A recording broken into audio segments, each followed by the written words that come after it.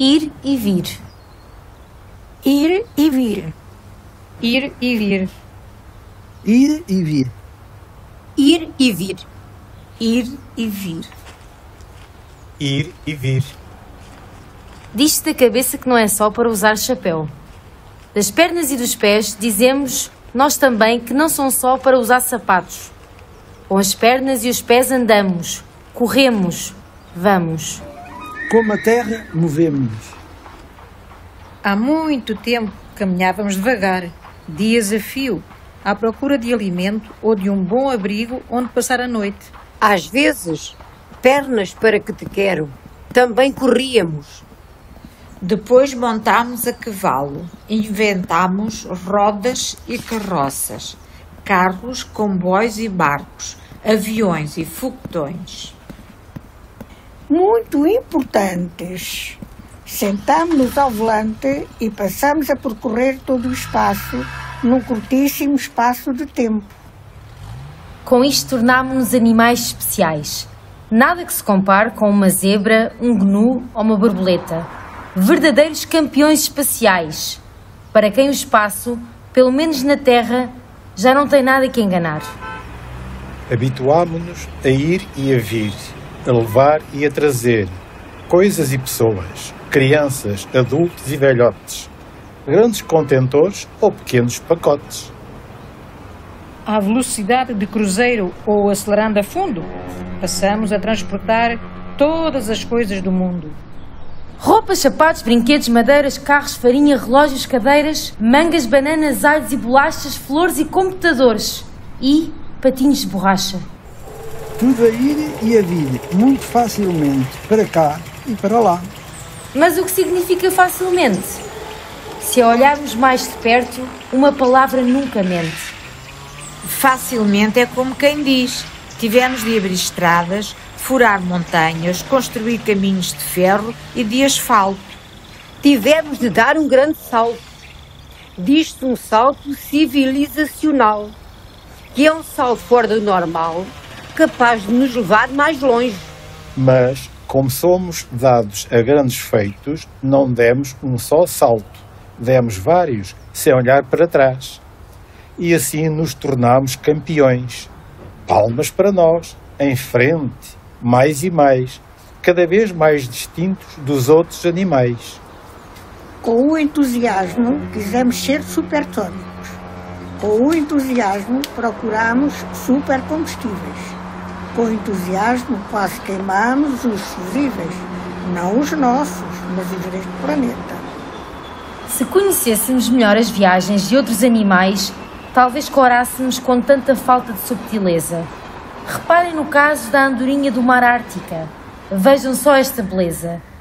Todos os anos, esta pequena ave atravessa o globo à procura de terras mais amenas. Para uma andorinha, há esta condição: por onde passa, chega o verão. Que se saiba, as andorinhas não têm motor, só um coração pequenino, mas mesmo assim, em nove meses percorrem quase 20 mil quilómetros, do Polo Norte ao Polo Sul. A borboleta monarca não é menos espetacular quando os dias começam a ficar mais curtos, percorre milhares de quilómetros rumo ao sul. Mas, como a viagem é longa e uma borboleta tem vida curta, várias gerações nascem e morrem pelo caminho. Ainda assim, o grupo não esquece o seu destino e as borboletas que o alcançam são netas ou tetranetas das que partiram e verdadeiras heroínas. Imaginem milhões de borboletas voando e voando durante meses e meses sem nunca abastecerem o depósito. O mesmo não acontece com os aviões que cruzam os céus, uns bons milhares de metros acima e que nas suas viagens libertam toneladas de gases para o ar. Não se conhece a opinião das borboletas e das andorinhas acerca deste exagero, mas os cientistas desconfiam que não seja nada de muito simpático. A baleia cinzenta é outro exemplo a seguir. Apesar de ser um bicho de 40 toneladas, pesa o mesmo que um caminhão tiro. Percorre com elegância quase 8 mil quilómetros para ter as suas crias. Os atuns viajam pelas mesmas razões, mas são bastante mais rápidos do que as baleias. Este cardume que aqui vemos nada a 50 km por hora, sem imaginar que, poucos metros mais à frente, um cargueiro transportando latas de atum rasga a superfície das águas.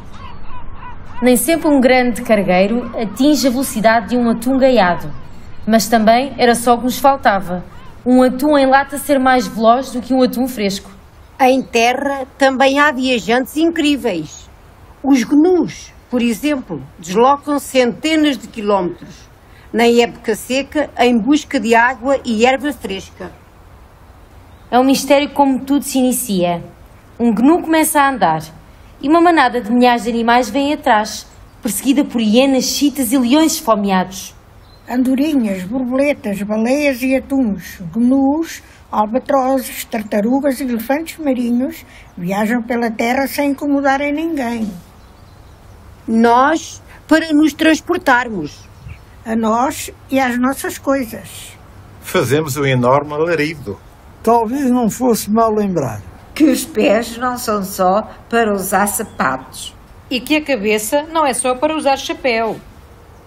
E antes de terminarmos, queria só dizer que nos últimos tempos, nestes tempos que ficámos em casa, sem nos transportarmos para lado nenhum, a Terra, o planeta Terra, a nossa casa, a nossa mãe recuperou um pouco a sua saúde.